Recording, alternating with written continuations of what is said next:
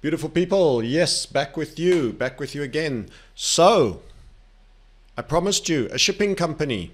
I promised you a shipping company uh, that I saw downside for. Um, this is not necessarily as huge as I've given you on the FX uh, for move, but I think it'll be very, very potentially profitable for you. And it is uh, CCL Carnival PLC ordinary shares um, London Stock Exchange, and it is a short. It is a short again. We are shorting. We are shorting. Um, we are the reset people, and we see pain. Um, they're telling you all is well. We say all is not well. All is bad all is bad. We love bad. We can make money in bad. And if bad means we clear out the crap so that later we can have good, we'd rather we get all the little vomit that must be puked up out of the bowels so that we can go forward and detoxify. There's no point in not finishing the job. Oh, such a tasty little metaphor this early after breakfast, huh? Isn't he a lovely chap? Okay, so this is Carnival. Um, I'm on the two hourly. So let's just show you around this particular share. Uh, and it's very interesting because actually, not so long ago, I reminded many people that we called for this big high to be run up top here. So I'm going to give you a wee glimpse of the kind of lines that you will learn to draw in time as you become a price behavior specialist. Being showing them once, looking at YouTube's once will only take you so far. You need to learn the skill and understand the full reasoning behind it. And if I take the eye off, you will see this was a long. This was actually a long for us. We got in early round here, 2470 a long time ago, five years ago. We called for an 80% climb for 4720 to be run. And guess what? It happened. It did happen. It doesn't always happen. We're not always right. I'm not trying to be too smart, but that was a structure that played out and traded, and we found it. And on its way to meeting its second interim, it had another little uh, setup that gave you a confluence here. So you should have closed. You got a small amount of overperformance, then you got into this. You got into that, and I will show you what's happened. And ever since then, we have been bears, bears, bears. So our structure, first uh, downside in a new trend. Note the target made, note the pullback, a lot of choppiness, and then boom, more downside. Lovely little wind up structure. And actually, you are becoming part of a structure that is in play right now. It's a complicated looking chart, so I'll take it off. So what is actually happening? Um, you got a return move after making your second interim up to virtually your triggering level, which was over there. And we are in what we call a megaphone and you'll learn all about broadening patterns in the advanced section of our future currently being recorded to be uh, released. It's going to take a while. We're doing the basic stuff all over again um, to a higher standard and that's being recorded as we speak and slowly released. So uh, you'll learn about that in rather advanced. But if you're in the sniper community, you're getting pieces of it already, as well as the library, as we are implementing it in the market in live situations. This is where theory and practical trading collide. We only do technical analysis and price behavior learnings and real setups to answer the one question what is the trade? We are not we are not for market uh, technical analysts that are there for the news commentary and to explain why retrospectively something happened. We are active traders. We are trading technical analysts, and that's the game. So, with all of this, let's go into the breakdown of the bear part of this. So, I showed you around about 47.80. That was your target. That was all you got as an extra performance. We wound up and you broke down, and this is how it's been rolling. I mentioned to you that ships, let's go find that link again. I'm going to do it live. Why didn't I do it? I should have done it already. But ships, use DuckDuckGo, by the way, guys. Keep Google out of it. Keep Google out of it. Um, don't give them the information. So anyway, so the shipping industry has been is facing um, a scenario where from 2020, 2020 shipping diesel. Let's put that in and bring that article up, and then I can share it with you in the uh, sulfur regs will impact. So I was explaining about bottom of the barrel fuel, the really cheap, thick tar asphalt, sulfur ridden, grease burning garbage that they buy for real cheap and smog up the world. Nine of the biggest outsmog all the cars with the uh, the EU rigs and even the US trucks of the world. It's unbelievable stat that I still find I don't know if I, I, feel a little bit uncomfortable mentioning it. It's kind of like somebody's told you a bad lie and you you're fool enough to keep repeating it. I find it like quantumly hard to believe. But I remember actually going from Greece on one of those hydrofoil that stand up out of the water and go just about 70 knots. It was like flipping turbocharged bus going down a hill. Those things went so fast. And it had pipes the size of houses. And it didn't have one of them, it had about four or five of them. And it was just churning out black smoke as it stormed across the ocean.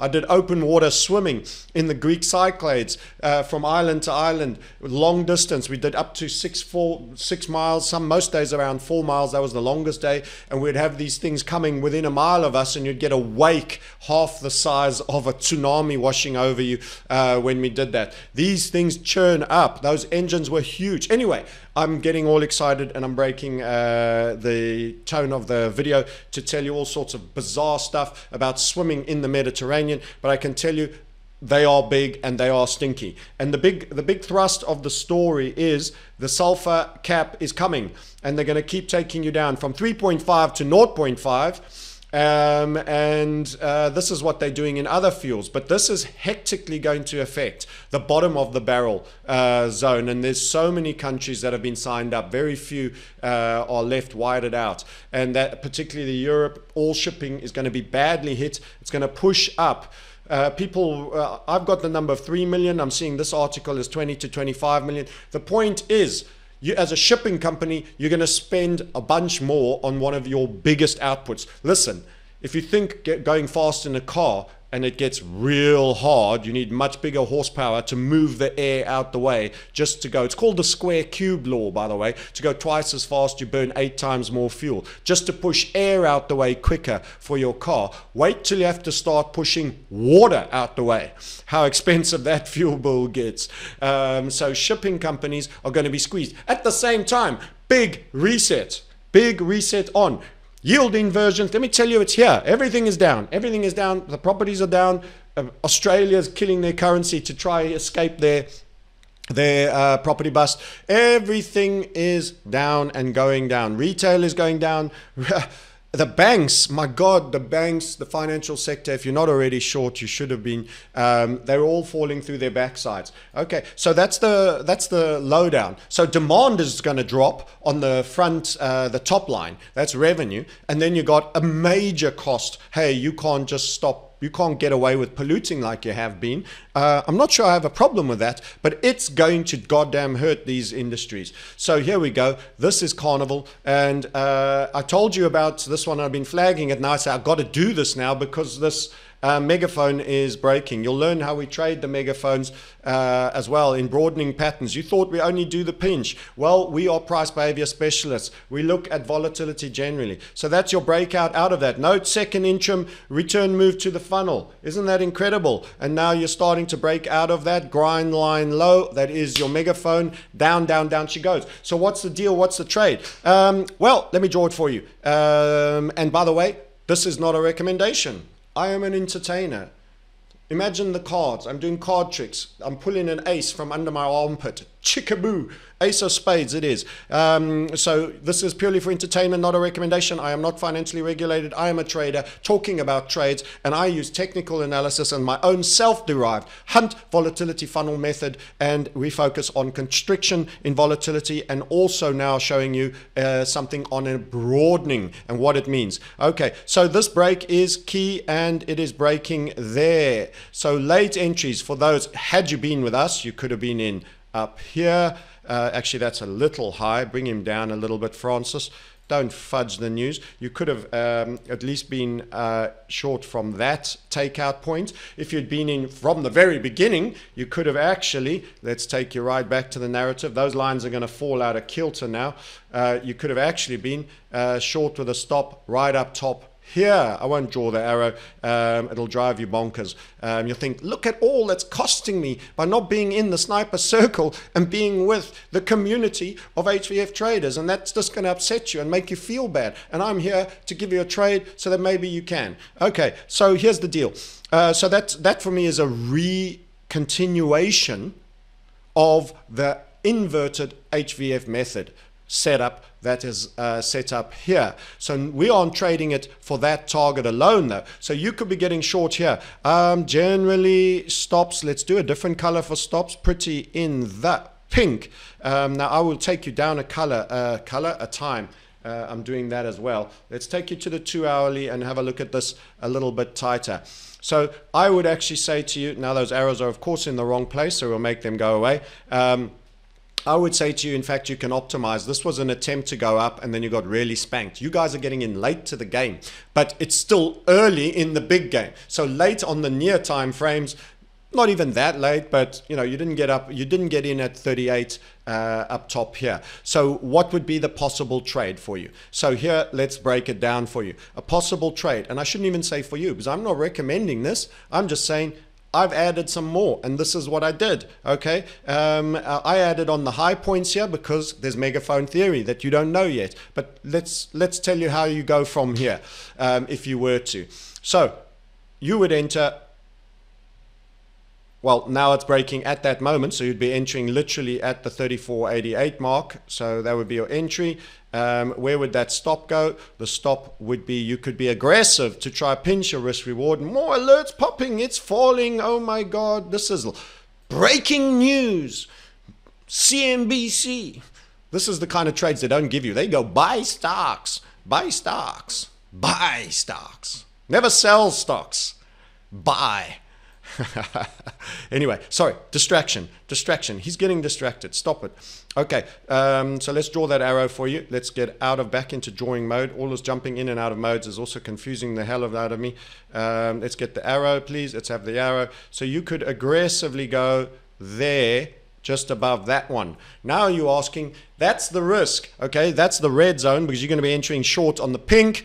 Uh, you're going to have stop aggressively there. By the way, if you're a little bit uncomfortable with aggressive and you think it's going to be a choppy and Trump might come in and say, try keep, uh, you know, how be all nice to the Chinese. Um, you might think it could get a bit choppy and you're a bit nervous. You can always put uh, a slightly higher stop there and an even higher stop up there. But obviously that affects your risk reward. And we like squeeze. In other words, we're comfortable with losing. We're comfortable losing a trade to optimize a squeeze, even if it means we tap once, twice, three times every now and then. Occasionally you get it right first time. But where is the reward? Where is the reward, you ask? Because if you're taking that move right now at 34.88 and that high right there was at 35 yeah, it's about 35.65, I would say. Um, we could give you a more precise answer than that, but 35.65, it's a dollar. It's not quite a dollar. Um, it's about 80 cents um, that you're going to have uh, in there, 78 cents. What could you gain? Okay, so this is always what you do. How tight do I get? And how big on the downside can I be? Right, so let's do that. We'll switch out of drawing mode and we'll go, whoop, uh, thank you for playing. I don't need you. Uh, we go up to daily. Give me that. Daily. Are we already on daily? That's why I'm getting confused. This is still a macro trade, guys. This is still a decent macro trade. So let's run you through where I think the possibility of the realm uh, could be for the downside. So I showed you this bigger time frame view earlier. And I'm warning you also, there will be recession in my view. And we, they call it recession. I don't call it recession.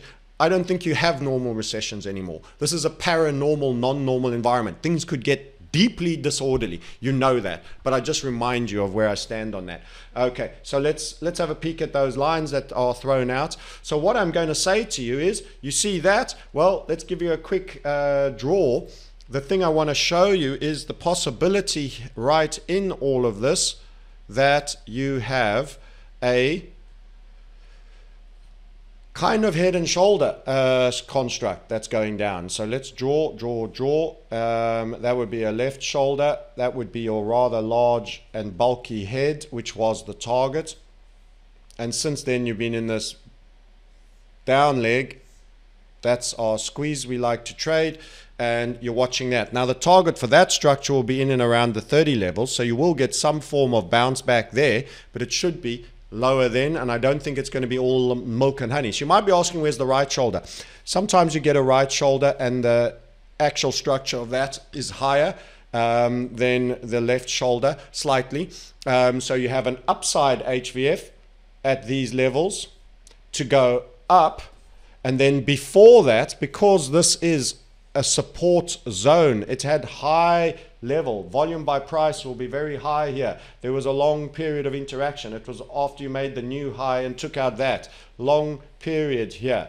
You would have stacked up your volume by price. You guys forgetting that. That's your Burj Al Arabia, whatever in Dubai, mega building. Um, so it'll be high here. So you wind up to smash through these levels. And you, you had your rally in here. You had your rally in here. Let's take all those scribblings off. You had your rally in here. Let's give you a little look-see of those uh, support zones that we give you. That red line, this red line, I should bulk him up because it's quite relevant right now, is what you want to see broken. You invalidate that wind up on the journey to the upside. You invalidate that wind up. You broke into this funnel area and you've been churning. How did you break into that funnel area? With momentum, always with momentum. It serves as support for a while and then with momentum. Tell me if this doesn't look obvious. Once you understand HVF method and you fully at it, and believe you me, by watching this, you're only going to get a, an, an, inkling of what we're all about. Um, there's so much more to learn. Can you see the support? Can you see how it's supported? How it's supported on the way down. The funnels are key levels of significance, particularly the area of the break. So the break was over here.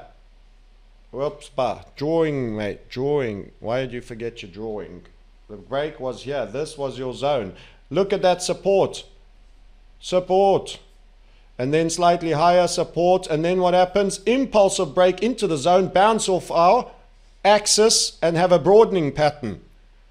What are you doing next? You will break that next on balance of probabilities, in my opinion. Um, it's not a million miles away, but you'll go there and you have a downside target to there. And then guess what? You'll have another funnel over here. So you'll have a little bit of a rally, maybe some new structure to break into this funnel and then you will rally again, broadening maybe again, who knows, and break that, run their target. What is that target? I'm giving you the numbers of a trade that we are in. That is that point down to an axis that we've chosen to use there. We could use a more conservative one off that axis over there, but I think you would already be pretty close there. It will be in the funnel if we did, um, but I think you'll be good for the 1595 uh, in our reset. So your target is 1595, but you could be getting in at right now as we speak. What is it right now as we speak? currently 3489 it's down 3.5% 3.6% guys that's what you missed by me doing this video today. I just chose the order that I was going to do these. Unfortunately it's 3.57 you could have got in higher up but you got the Korean one before that. You got a little heads up on the USD JPY as a little plus my uh, sidebar fork trade. So you actually got two trades in one on the FX one, always seeking to over deliver to you. You also got uh, an equity um, Wells Fargo given to you uh, in the previous. That was your trade two. And now you're getting the shipping um, one. Wells Fargo, the financial services sector. The sectors I hate cars, financial services uh, cars and auto loans, uh, subprime loans, particularly in the States, go hand in hand. So, particularly banks and financial services leveraged in that, and student loans, as we covered in that. And then energies, I'm seeing uh, pressure for energies, but not downside pressure. So, we've got a, another interesting, and I may give you a bonus fourth one later, but then that's the end of the freebies, guys. You will have had everything you need. You will have had a smorgasbord of trades. Um, the premium guys are paying for them, but they're getting them first, and there's plenty more. Um, so, target 1595. Uh, stop I gave you at the time, um, and you're currently long. Uh, you're short at my apologies. Uh, let me take all of this off because I can't see the numbers when I have all of my scribbles on there. Uh, let's get back down to a shorter time frame and give you those on the shorter time frame. Just remember 1595. 1595 he says 1595 and then we'll give you we'll remind you of those entries again so target 1595 get the drawing pen back um, target 1595 and then you could be short at 3488 How's that for a little haircut? He's not shy. He sticks his neck out and gives you 50% plus. Come on, give me a little bit of credit. 50% plus market cap decimations. How many guys give you extreme reward trades with tight stops with 50% plus market cap haircuts? I feel almost bad it's only 50% plus. You got you got one that's one seventh of its full market cap potential, still potentially to come to you. Um, but you've got to allow uh, short and where do you put that stop? You can do the maths for yourself. I think you're good to go because there's been a tree, key triggering event right there. You're good to go on that level. What is that level? Okay, I'll give you the answer. And this is a spoon feed. This is a spoon feed. It is not a trade recommendation. I am talking aloud about things we do. Um, and you are watching and you are saying, maybe there's something I can learn, maybe there isn't. So the high of that was, whoops, whoops, whoops, 35, move, let's get that one 3562 there you go. 35 stop loss. Go back to drawing mode. Stop loss. 3562 there you go chaps. Less than 80 cents less than 80 cents. Two from that it's 74 cents 74 it's actually pence because it's UK so we change that C to P. And what do you get from 3488? You get more than a halvening. We're talking 16 does almost 35.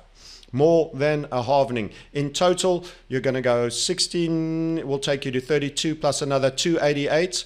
You're going to be on 1888 plus 5 uh, pence. 1888, 1893 if that makes target. So for 74 pence, 0.174 of a pound, you can make 18.93 pounds. So three quarters does 19. Three quarters does 19. 19 times 4, divide 3. You're looking at your risk reward ratio. That's how we trade, guys. That's how you properly make money. That's how we trade. That's how you properly make money. 40 and 36, he says, doing his basic maths because he's stupid that way divided by 3. 3 into 7 goes twice, and there is one left over. 3 into 16, 25 and a third. R, R, R. When last did you do that? Not bad, and you're late. You're late to the trade and you still can do 25 RRR. Okay, chaps, that's your mathematics. That's your trade. That's the one I said I'd give you. I'm bringing it to you. And um, if you're really sweet and nice, you give me tons of retweets, lots of likes, you bump it properly up to the top, you may get a bonus uh, trade. And it is a killer. It is a killer. But you got to love me long time. Love me long time. I'm a needy that way. I'm like a little hamster. I sit on the bars and I put my little twitchy nose up and say, scratch my head. Okay, enough of that. Enjoy your day. I'm Francis. I'm the market sniper, the crypto sniper. Um, you've got a triggering event right now on CCL, and uh, you are still not too late. You're late by our standards, by the rest of the world standards. You are freaking early and smart. You could be getting a 25 and a third risk reward ratio done for you with all levels. Watch it again, watch it again. Do not take the trade if you do not own your own outcomes. We can absolutely be wrong. This is non advisory, it is entertainment only. Okay, bye then and enjoy, enjoy, enjoy. I look forward to catching you later if you love me long time.